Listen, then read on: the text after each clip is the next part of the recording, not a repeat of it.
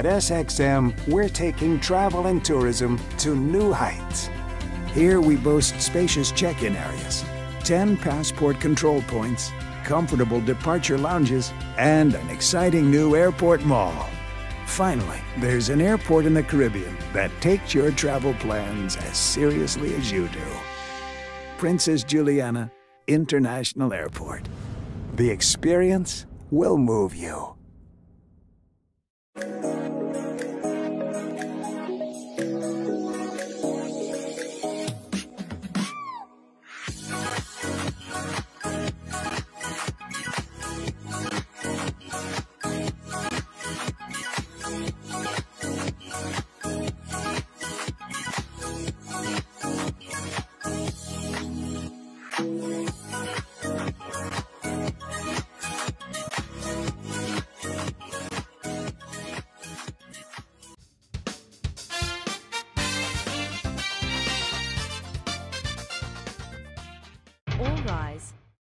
Now presiding the Honourable Judge Dick. Welcome to Dick's Court. I'm your host, Judge Dick, and of course, court is in session. Now, of course, it's all about um, looking at the court cases that the Daily Herald reports, uh, making sure that uh, you know what is going on, um, you know what people are being sentenced for. Because, yes, you hear about the accidents, you hear about the shootings, you hear about the killings, you hear about the kidnappings, you hear about everything that happens at the moment, but then afterwards, something else happens and then you just forget about it.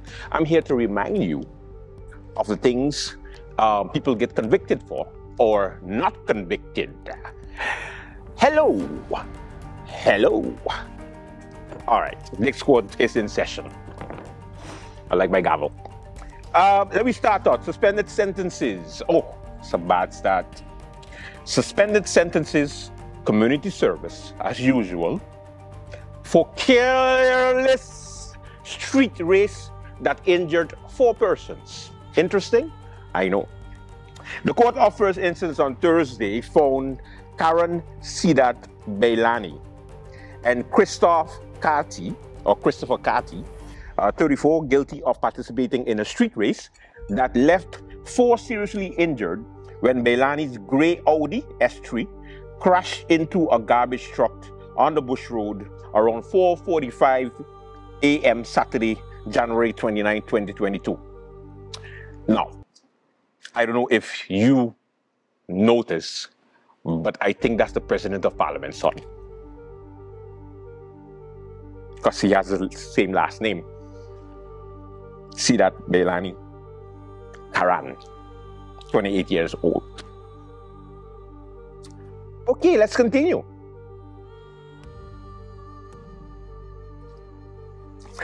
They were both sentenced, according to the prosecutor, demand for their roles in what the court described as careless street race. The high-speed duo each received a suspended six-month prison term on two-year probation and two-year ban on driving a motor vehicle. They were also jointly ordered to pay about $31,000 in compensation to two victims. If they refused to pay, they would each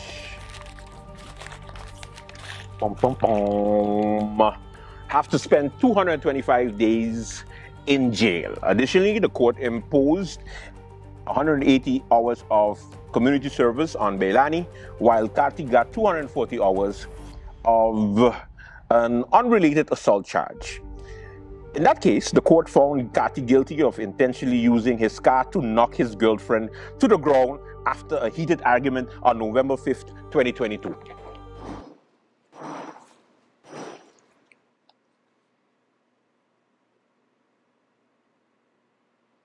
First of all, Daily Herald, how dare you put it in like you, you just like slide it in like yeah he get he get some community service for knocking down his girlfriend after a little argument back in 2022.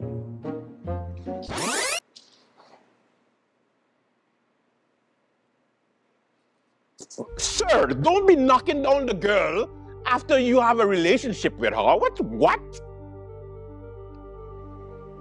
And then he gets community service for knocking it, like intentionally knocking her down. I'm not supposed to have any opinion about it. This is in the Daily Herald. Don't blame me, but it's nuts. Anyway, because Kati is on probation for previous conviction on assault charges, the, the court on Thursday also ordered him to sit the suspended three-month prison term that he had received in his October 2020 case. Surveillance camera footage of, on January 2022 crash was shown during the trial on August the 31st. A garbage truck has been picking up trash along its signed route on the Bush Road and was heading towards Prince Bernhard Bridge. The truck driver put on his left indicator and had started to make a left turn by toy and party store Super City. At the same time, the Audi driven by Bailani was speeding on the Bush Road towards Carrefour. The truck driver hit the gas, tried to clear this his vehicle from an oncoming car. And Bailani also swerved to the left to avoid a collision, but the Audi still careened into the truck's rear right side. Whew, this is hot. The force of the impact lifted the garbage truck rear end and tossed the two garbage collectors hanging on the back of the truck a few meters into the air. They landed hard onto Super City's concrete parking lot. Ooh. The collision was so intense that the Audi's engine block broke free from the mount and was ejected out of the vehicle's hood. It landed in the middle of Bush Road in a cloud of thick smoke. Following closely behind Bailani's Audi, Audi was a white Volkswagen um, driven by Kati. He managed to avoid the damaged Audi and garbage truck but crashed head on on the Audi's engine block. Based on the time it took for the cars to cover the distance from the Daily Herald's building to the point of impact in front of Super City, police estimated that Bailani was traveling about 152 kilometers per hour when the Audi hit the garbage truck.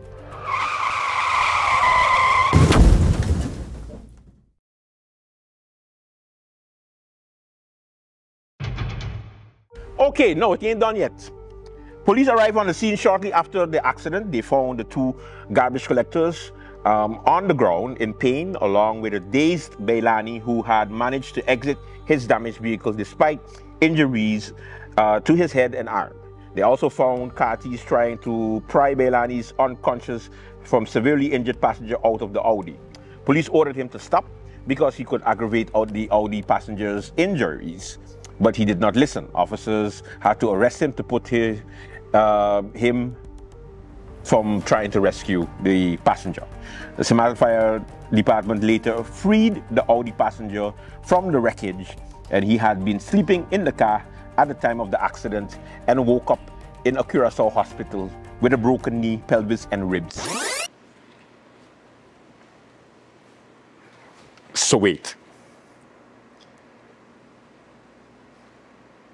You went into a race with a guy sleeping next to you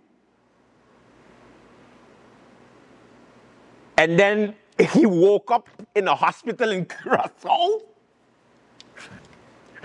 with a broken pelvis. Okay, a broken knee, pelvis, and ribs. I ain't talking to you no more, boy. you, you the friend that my mother, that my mother tell me not to mess with. No, no, no, no, no, no, no, no, no, no, no, no, no, no, no, no, no, no. During the trial, both defendants denied being involved in a street race and their respective lawyers argued that racing was not their intention. However, based on videos taken from Kati's passenger's mobile phone,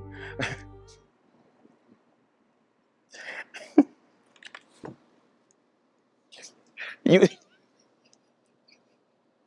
you tape yourself to racing?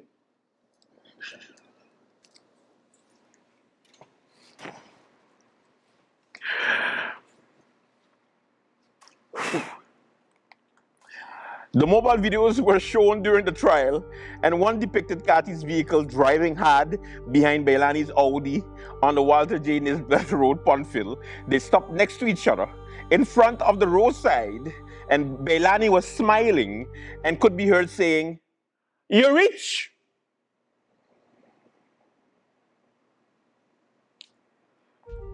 Kati's passenger then asked Bailani, Yo, that be a V8?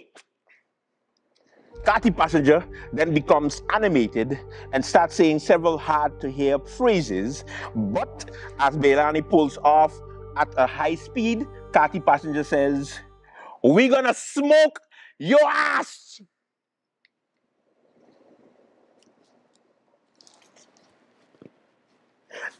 I really know more. Let me get to the sentencing here. Um, one. Let me see. Let me see. Let me see. Let me see. Let me see. Let me see.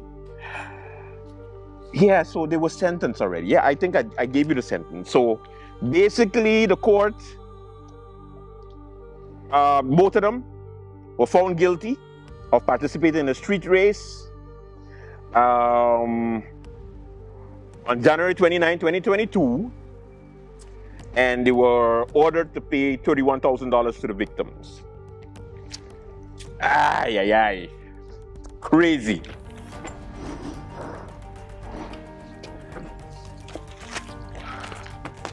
Let's go to uh, another case.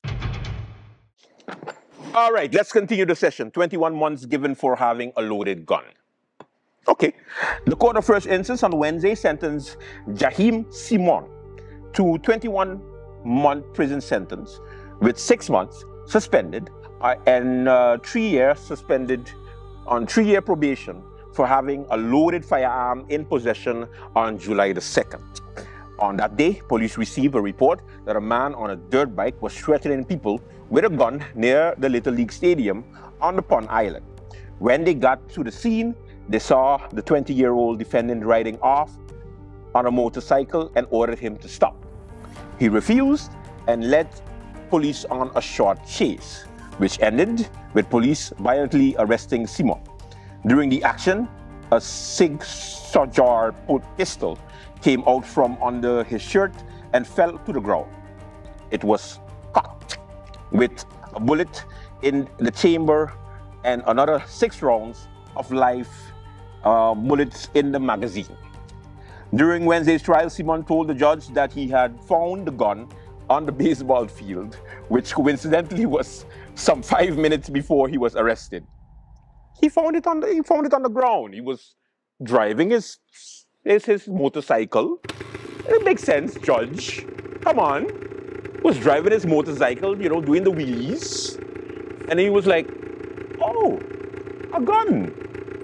Let me take it and put it underneath my shirt and continue my wheelies. It makes sense. Come on, Judge. Anyway, um, immediately the judge told the defendant that she did not believe his version of the events, and Simon had been shot in the belly in January 2021. And the judge asked if the reason why he had a gun was because he was looking for the man who had pulled the trigger. Simon denies this, keeping to his story that he found the firearm moments before police took him into custody. It does not matter if he found the gun a year before or a day before or a minute before, this does not matter to the law. The prosecutor said, considering the charge of gun possession proven, the fact that he still picked, picked it up held on to it and had it ready to fire. For the crime, the prosecutor demanded 21 months in prison, of which six months would be suspended on three year probation. Additionally, he asked the court to impose two more months of prison time because Simon on probation for December 21 conviction on a robbery charge. In formulating these demands, the prosecutor said that he wanted to send a clear signal about the seriousness of gun violence in St. Martin. But he does not want to send a clear, clear, clear, clear message about pedophilia in St. Martin, I guess. Because Anyway, that was last week's show. I don't want to get upset again. Um, anyway, the judge found that Simon had not been completely transparent about how he came into possession of the gun, adding that he is probably uh, wanted to use it against the man who had shot him. Uh, it is lucky that you did not find him because then you would be sitting before me for manslaughter or murder, she told the defendant before giving the sentence of 21 months. One more. The court convicts teenager for having an air gun and threatening. Ooh, this is this, this should be interesting.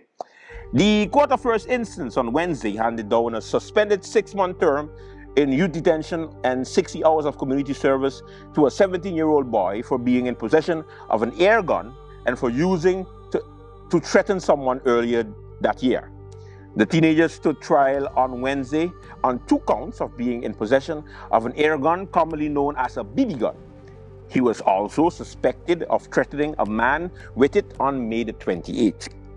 Although not lethal, an air gun can cause serious injury and is forbidden under Sint Maarten's law. Despite being only 16 years old at the time, the defendant had borrowed his brother white Hyundai i10 that day and was driving around with two others. Okay, so we're not gonna we, we're not gonna talk about he being 16 and he borrowing his brother car. Nobody. Okay. Hey, borrow me a car now. No problem, bro. Thanks. anyway, okay. is a real place. Let's continue. And I'm a real judge. Um, on the first charge, the boy admitted to having an air gun in his possession on November 23, 2022. Despite being only 16 years old at the time, the defendant borrowed his brother white Hyundai i10.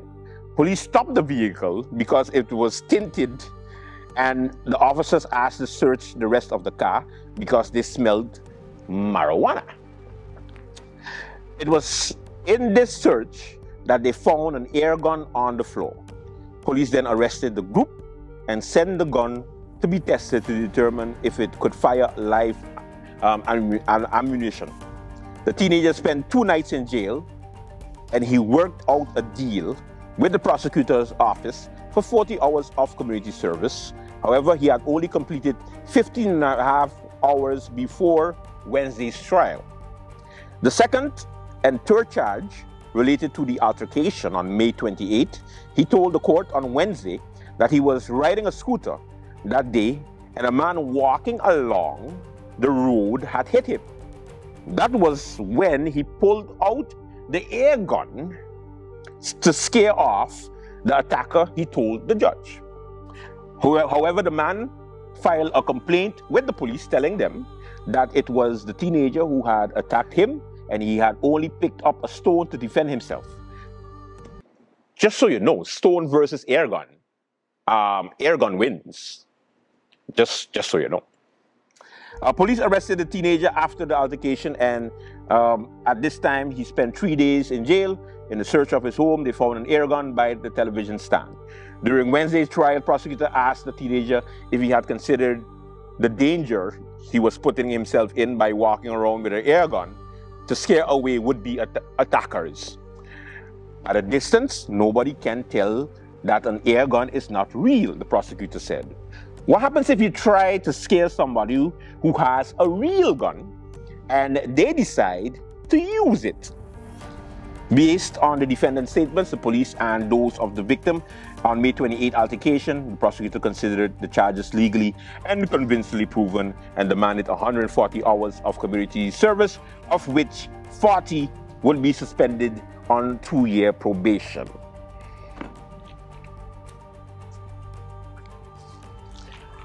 All right. Okie dokie. So now, uh, my ruling is as follows. For those having a loaded gun, um, come on. Uh, we have very strict gun, um, gun laws in St. Martin. Uh, apparently, you, you, you, do more time for um, having an illegal weapon or using an illegal weapon than um, real other crimes uh, that matter to the society. Uh, so at the end of the day, um, not because our jail is full means that you get to just break the laws, don't care about the consequences, and then when you end up in jail or you end up in um, uh, in, in, in, police station detention in Philipsburg, you start to go like, but you know how it is. I, at least I get in three meals a day. Yes, behind bars. Let's finish the sentence. Behind bars. Um, freedom is something that you have to hold tight to. Because when you don't have it to walk, my friends, it ain't nice. Um, uh, when it comes to the, the two persons that caused four persons to be injured for the street race, and to tell the judge that it wasn't a street race, however, you tape it on your phone. What's wrong with this generation? And they're my age, you know. Why would you tape? You ready? You ready? You ready? You ready? Let's go! This ain't Fast and Furious. Where, where are you? Are you in a Vin Diesel? And all you think, oh, you could swerve and uh, I mean, it was not the smartest things to do, especially at the time that it took place, because it was 4:45 a.m. What the what the you was doing driving so fast on the bush road, a main road.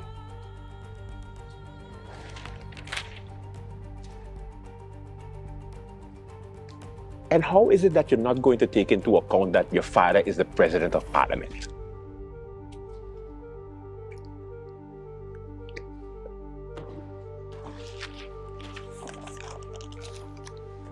That does it for the court today. Um, you are dismissed. Let's see if we do better with justice next week.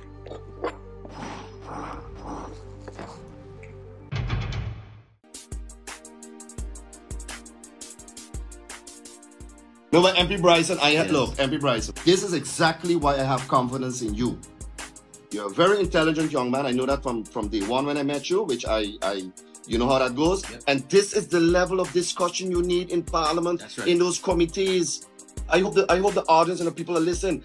This is Parliament the right here would love nothing better than to say, let's allocate 10 million guilders towards helping our issues in social needs and so on. But how are we to do that when we have all of these conditions of, well, you can't get more liquidity, you need to cut, you need to do this. We, many of us feel like we're in a position where we can't fully extend our ability to legislate. But my decision is to stay where I'm at. Mm-hmm. I, I, I um, at the end of the day, the way that MP Rolando Brison leads, he allows me to work. He gives me that freedom to work. It, it's not always a full call of pressure or do this, do that, don't do this, you know, and that's part of the reason that I'm able to, to produce.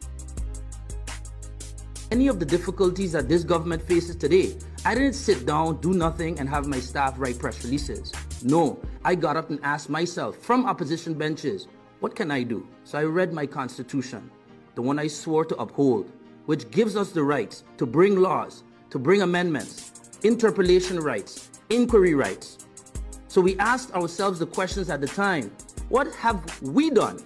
Regardless of. He has represented this country qua what is expected of a parliamentarian professionally, and I can align myself with that simply gone through a very difficult economic time and are simply asking of the tax department an opportunity to have a payment plan. And it seems that this is really done kind of like if they feel like um, how you talk to them, you know, it's it's extreme.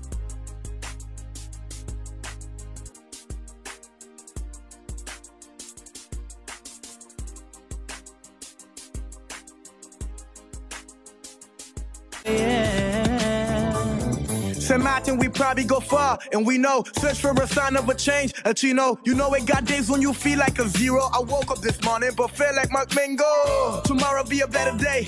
Respect is the key, education gon' matter, so don't you try to run away. So I'm in the place where the food is good, the people is good, the music is good. We living like we on a rose. They're trying to take us down, but I'm thinking, could they really though? Misunderstood. Oh Lord, help us protect ourselves. Help us look in ourselves. We're searching for what they call the fire that's in I just want to see the best for my motherland. I just want the whole world here to understand that we came from the bottom of the sewer. Now we heading way up, high up unto Wonderland. Opportunity is yours, so make it happen. Take an action. Change. Some of them even say it's the guns on one coco. So they won't let me play. And they blaming polio. They think they could fool? All we know they better do fast. Polio or no polio. Man, we won, we must. Mama, when they hear, they go get the carnival. Oh, oh, all masqueraders on heat. Well, they didn't care if it was official. But they start turning bees on the street. And they start to jump around. Yeah. And they start to tumble down. Yeah. And they fall down on the ground. Yeah. If they see how they care. But what was so comical in the midst of bacchanal? Rain comes and wash out Martin May. Who they think they could fool? All we know they better do fast. Polio or no polio, man we won we must. Mama when they hear they go get the carnival. Oh, oh, all masquerade.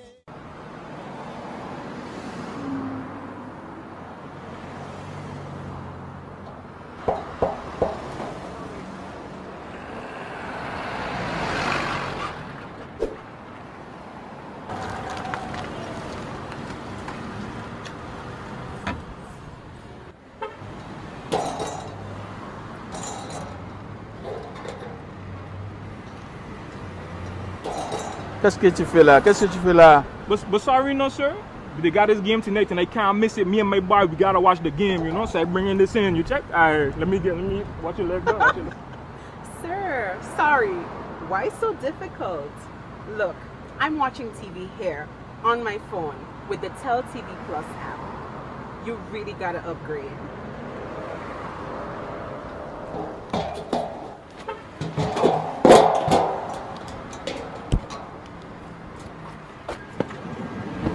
Okay, so miss, tell me about the Tel TV Plus. Oh I hear about this. Okay, so once you apply for Tel TV Plus, Okay. you can enjoy it anytime on the go. Anytime. Anytime. On the go? On the go. You simply download the app, log into your account at any time, sit back and enjoy.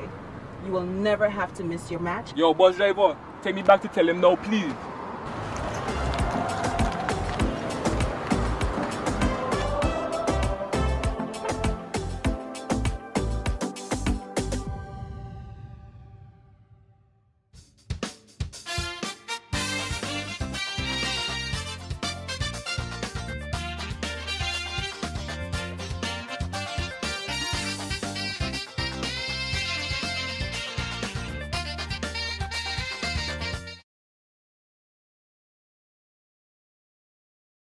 If you've just joined us, you are watching the Council of Ministers press briefing.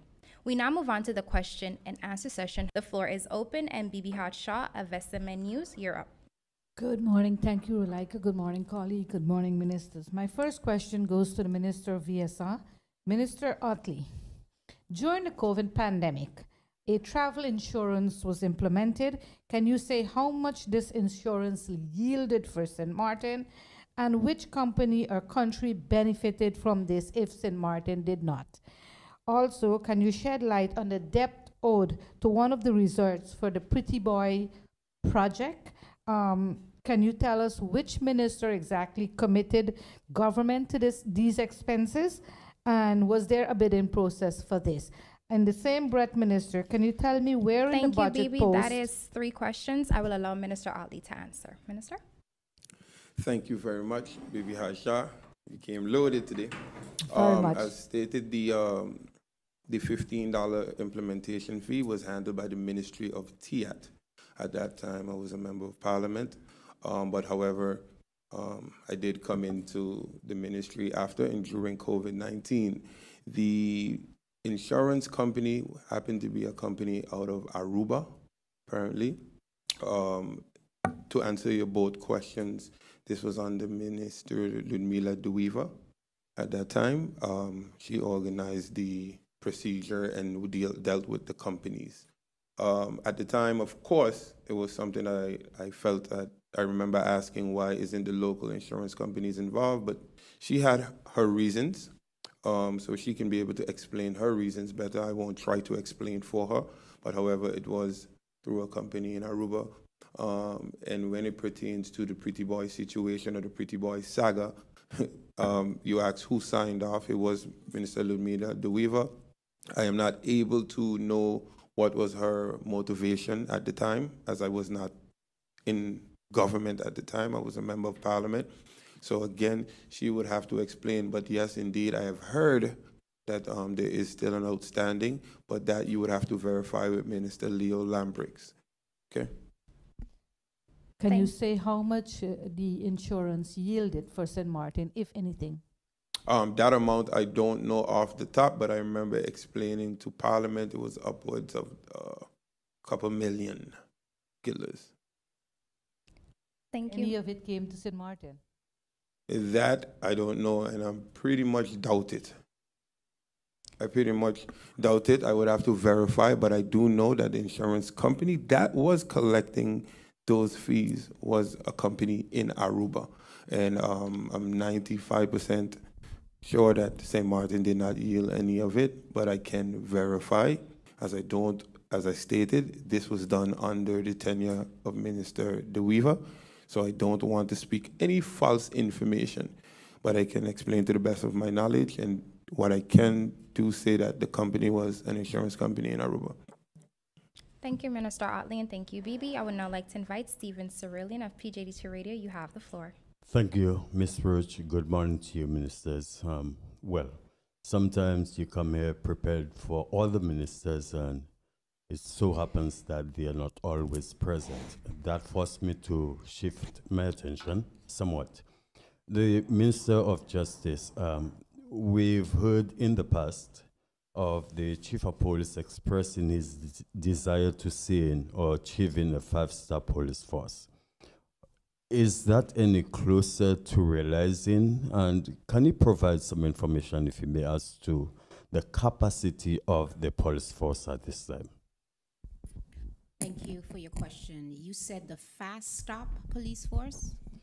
They was looking forward to achieving a five-star police force. Five star? Yes. Oh, sorry. Okay. Um, I would have to speak to Chief John a little bit about that vision. Maybe it was something before my tenure. Um, I know that there are efforts to be able to, uh, and there's always trainings going on to be able to improve the police force. In terms of our capacity, we are still functioning how we were about a year ago because uh, the ability to hire has been halted with the budget challenges that we've had. So I know that uh, we have an obligation, even with our um, how we call that now, the project plans. We have to grow at a certain number on an annual basis. That has been stagnated for the last couple of years, but um, the efforts to be able to ensure revenue is generated to, suffice what we have to, um, the, the, quota that we have to meet in terms of our police force is still a high and top priority. So we're trying our best to be able to do that. But I would gain more information from Chief John for you, and hopefully in the next press briefing, I'll be able to advise. Thank you, Minister Richardson, and thank you, Stephen. We now move on to the second round. Bibi, you have the floor. Uh, thank you, Relaika. Um, my question is to the Deputy Prime Minister and Minister of VROMI. Uh, Minister Doran, can you tell me how much has GEBE spent on consultancy with the revamping and how much longer will this continue? Based on what I understood and the information that I've gotten, is that GEBE um, their liquidity is as low, the lowest. For the past 10 years, it is very low. Um, can you also tell me what is the shareholders' position on this scary scenario? Thank you for your question, Bibi. Uh, with respect to how much they are spending or have spent on consultancy over the last couple of months, I simply don't have the answer to that at this point. Um, I'm not sure if that was communicated to the Prime Minister. Um, so I will have to follow up with the cabinet and get back on that point. And the second question was, what? How is this? How, what is the shareholders' position on their current liquidity sub, um, position? I don't know their current liquidity support position at this point. So that will also be something we'd have to follow up on. Thank you, DPM, and thank you, BB. Stephen, you have the floor. The Minister of Justice again. Minister, earlier on you spoke of the substance abuse among our youths. Um, you said steps have been made in order to at least curb the problem. Um, can you give us an idea if you have any knowledge of the percentage of students abusing drugs or substance on St. Martin? Thank you for that very great question, uh, Mr. Cerillion, because it is a great focus of ours. Um, I won't be able to give you the actual numbers and statistics. Definitely, I know Dr. Thomas from Turning Point has those, um, but the, the concern is quite large. Um, there's even concern that a lot of our students are seeing to it that they uh, engage in substance abuse prior to going into school. Um, many of them are not able to focus as they need to. Um, there is uh, concerns about the, the level of aggression that they are displaying has contribution from that as well. Um, there is campaigns being launched on our radios. There's going to be campaigns on our social media pages. You can look out for those. There's going to be more activities from Turning Point coming out to be able to discuss these because, as I mentioned before, for some odd reason, and I use the word odd because I still can't um, understand, there is some resistance from schools to allow Turning Point to come in and administer these awareness uh, platforms. Um, that for me is alarming. So in my discussions with Turning Point, I said, no problem. If we can't go into schools, then we make it a very public um, platform of, of awareness. So that's what we're driving to do. Um, we have, as I mentioned in my opening statements, a lot of different types of substances. Of course, alcohol is a part of that as well because we have a lot of youth that engage in that. Um, but in terms of the actual statistics, that is something we will have to publish within short. Thanks. Thank you, Minister Richardson. We now move on to the third round. BB, you have the floor. Thank you, Relaika. Minister Ottley, can you tell me um, the EHAS funds, where has it been booked in the budget as an income for the government? And can you also tell me, as the acting minister of TEATT, what is the contingency plan for the food crisis? Okay, great. The actual budget post number I'll have to give to you, but however, I can um, tell you that during the COVID crisis, um, when the hospital was overflown, overcapacitated, um, we had to find isolation facilities in which we did assist with that. Um, we got numerous bids. Um, we then assisted with the facility. We assisted with the community outreach programs and so forth when it pertains to vaccinations and et cetera, et cetera, et cetera.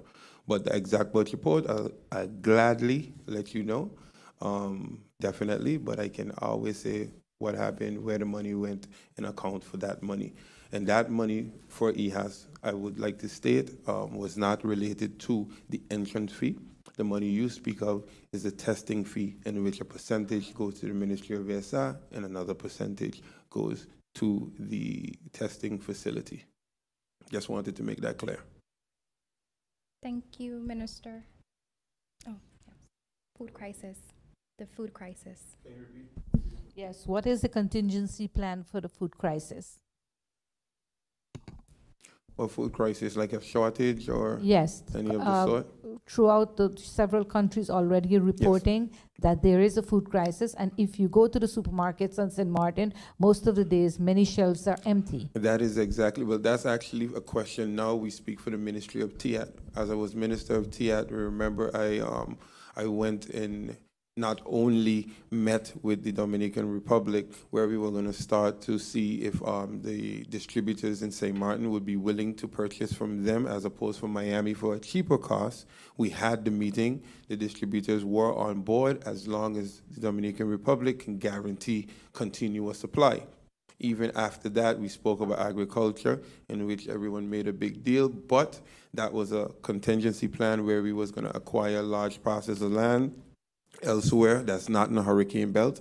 And we met with the local agricultural um, committees on St. Martin, and we were starting the program. So that is what was in place when I was there. I would have to follow up with the Minister of TEATT to see how far they are as I'm now back in VSA, and what you speak of is a responsibility of the Ministry of TEATT, but I'm pretty sure they're on it. But um, we will follow up with them to see, provide you with an answer.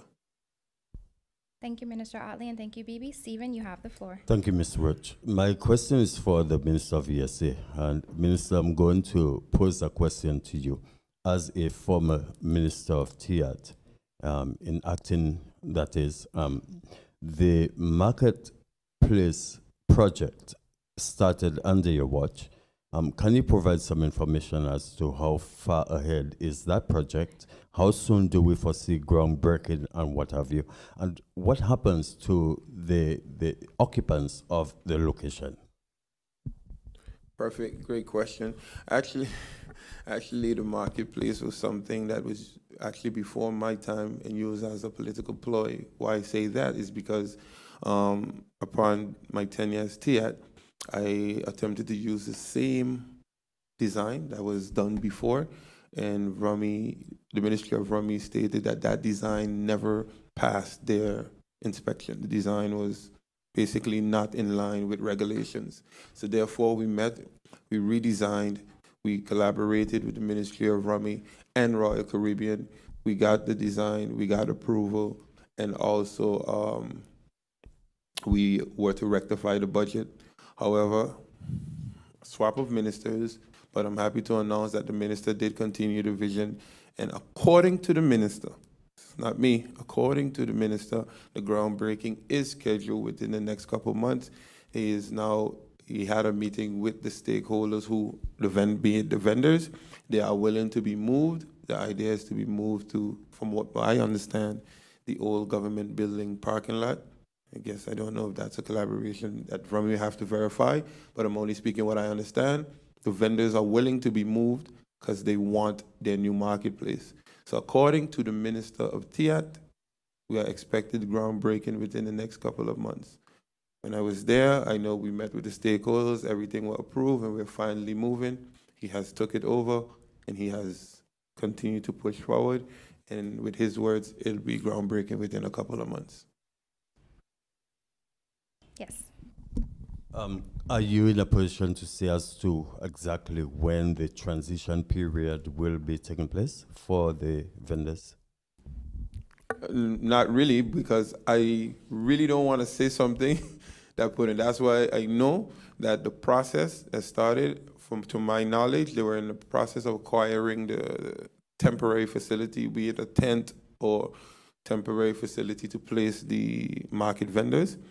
But um, for safety net, he did say this is one thing that was related to me. Is it within a couple of months he plans to break ground? If I was the minister, I'll give you a definite date, but I don't want to speak for the minister and put him in an awkward position. But I do know he did say within a couple of months. Thank you, Minister. We now move on to the fourth and final round. Bibi, you have the floor. Thank you, Alaika. Minister Doran, where are we with the district cleaning contracts? And can you tell me um, what I'm seeing, Minister, is that SOAB are being used for both tendering and recruitment, yet the advices for, uh, from SOAB, in my opinion, are not being followed. But I'd like to know exactly with the district cleaning contracts, where are we? With respect to the question on district cleaning contracts, they are very much active and they are currently cleaning the districts. So that's that's the current status of it. But who have been doing it? Is it Vromi people or were the contracts issued? The contracts was issued a couple months ago. Thank you. You're welcome. Stephen, you have the floor. Thank you, Mr. Rich. My final question is for the Minister of VROMI. Mr. For some strange reason, the, word, the, the road markings have come to a stop uh, a halt, we notice that the French side is continuing with this. Um, St. Peter's Road is still in a deplorable condition, certain places of the road, of course. Um, what, what's your plan for this stretch of road? Thank you. Thank you for your question, Stephen. I'll um, answer the question firstly on the road situation in general, and then the second part I will touch on the paint. Um, money is a major issue. Finances is a main challenge that we have. Um, as I mentioned here on, on various occasions, the budget that I have on a yearly basis is 2.1 million guilders, which can barely scratch the surface when it comes to the attention that our road network requires. I was really um, banking and still banking and awaiting the capital expenditures approval because in that we had um, 8.6 million guilders approximately in total when it comes to main roads and side roads, which are 3.6 was going towards hard surfacing of side roads with concrete and 5 million extra on top of the 2.1 million. So that would have definitely made, and I'm going to say, will definitely make an impact once it's finalized. I spoke to the Minister of Finance last week, and uh, CapEx is awaiting final approval, if I'm not mistaken, still by the second chamber in order for us to receive those funds. It was approved by CFT, it was approved by the um, Kingdom Council of Ministers, and the last checkpoint is being awaited on so that we can um, move forward with that. So to tie it all together, the road painting and all of that will be in, in included in that. However, two weeks ago we received the products, the, a better sort of paint then, so to speak, for the road pa- painting. We're starting with the roundabouts and the zebra pattern in all the areas. So that those are the main focus right now. And then subsequent to that, once we receive the funds, we'll continue on a larger scale. Just as a follow-up, Minister, how much of the road tax payment is reinjected into the road projects? As I mentioned, the budget on a yearly basis is approximately 2.1 million guilders. So um, that is the amount that that is received for for repairing of roads. As a if you, I think, of course, I know you're always paying attention to what's going on in the media. Um, a couple last week when they had the opening of Parliament, I'm not sure if you noticed. Uh, one of the points that was mentioned was the road fund. So that will definitely be a great help. That was something that had to had been finalized years ago, and um, I took it up a couple months ago, and we're in discussions now to finalize and get that going. And that will definitely be a more sustainable vehicle, so to speak, to have our road network maintained on a regular basis and also have the funding, more funding to do such. It all boils down to money. If if I had, um, as I I think it was about a year ago, um, when we did an assessment with approximately 12 million guilders, we will definitely be able to put a lot into the infrastructure here in St. Martin and, and put it up to par, so to speak. Then it will be a matter of maintenance. What has been happening over the years is we're continually maintaining, but there's never no big impact. And that, by the time you finish here, there's bad, and, and that's the domino effect that we have. So I hope, I really look forward, as I mentioned, to the capex, because that will definitely, it, it's not enough, but it will definitely be a great impact for us. Thank you for the question. Thank you, Minister Doran. As time does permit, I will allow one more round. Bibi, you have the floor. Thank you. Minister Doran, can you give me an update as to when exactly the Dutch Quarter project will recommence? Um, the prosecutor's office, after quite a while, has said yes, they approved um, using the Larimar fine to have this project finalized. And at the same time, can you tell me what is the long term plan for the Simpson Bay parking lot? With respect to the Dutch Quarter project, um, I had a town hall meeting over a month ago, and the project has commenced. There's a lot of um, preparatory work that needs to happen. They did start work down by the uh, one of the pits in the entrance close to the roundabout. Those things are happening. Parts and those things are being ordered as well. As you know, when dealing with these um, components, they are specialized, so it has to be tailor made for the project. Uh, projected timeline was also given in that presentation at the town hall meeting. So things are ongoing. You mightn't see it in front of your eyes, but it, a lot is going on with that. They are um, regularly meeting with the department, updating the department. As a matter of fact, today we have a meeting on it. I have a meeting to get an update. They are meeting regularly, but today I have a meeting to get a um, kind of an update as to the state of affairs at this point. And regarding the Simpson Bay parking lot, I don't have any information on that right now. Thank you, Minister Doran, and thank you, Bibi. Stephen, you have the floor. Thank you, Ms. Roach. I'm going to ask the Minister of Justice off the bat. Mr. Um, can you say as to how many persons are currently incarcerated at the Point Blanche prison and how many of those persons are below the age of 20? Uh, question that I don't have the answer to at this time. Um, I know that we are not far from capacity if we were to focus on Point Blanche. Um, but in terms of the ages, I don't have that information. But as always, I can get and I can provide. Thank you. Thank you, Minister Richardson, and thank you, Stephen. Members of the media viewing and listening public, this does bring us to the end of the question and answer session. Members of the media, any further questions can be sent to the Minister's Cabinet in writing. Honorable Ministers of the Council, members of the media, radio listeners, and online viewers, this brings us to the end of the live Council of Ministers press briefing for today, Wednesday, September 20th, 2023.